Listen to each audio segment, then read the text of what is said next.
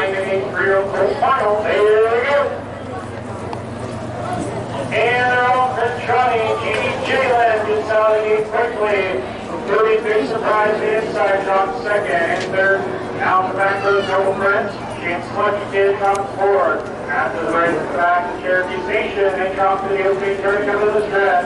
Jeannie Jalen leads a Boobie's big surprise quickly up second now. Outside in third. Noble Prince, fourth Chance Lucky Kid back there fifth. In there is Cherokee Nation. They head to the corner marker. Boobie's big surprise goes up high on the late now. Jeannie Jalen opening forward in 33 and four fifth second. Now an exciting drop for the second and final time. It's Boobie's big surprise by six, seven lengths now. Jeannie Jalen is second.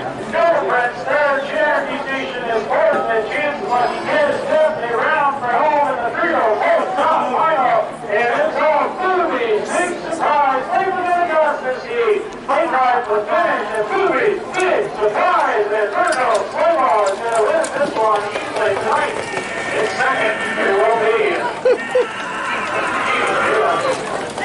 Indiana Sire Stakes, three red trotting colts and geldings have entered the stretch.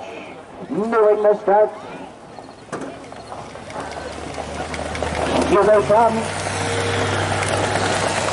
And they're off in trotting Boobie's big surprise. And to the outside, GV Jovan forwardly placed to the inside there in third Cherokee's Nation.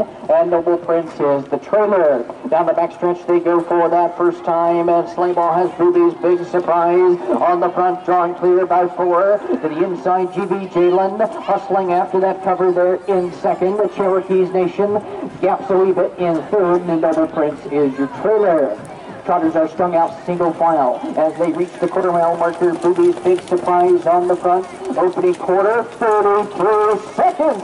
There's Boobie's big surprise. Drawing away with every stride. GV Jalen, Cherokee's Nation to the outside is third. Noble Prince is fourth. Down the back stretch they go. Second and final time. It's Boobie's big surprise. Boobie's big surprise. Never an anxious moment here. Cherokee's Nation moves up and around there for second. GV Jalen third. And as they head for home, it's a race against the clock here. Boobie's big surprise. Boobie's big surprise gets up to win it. Your heat and overall champion.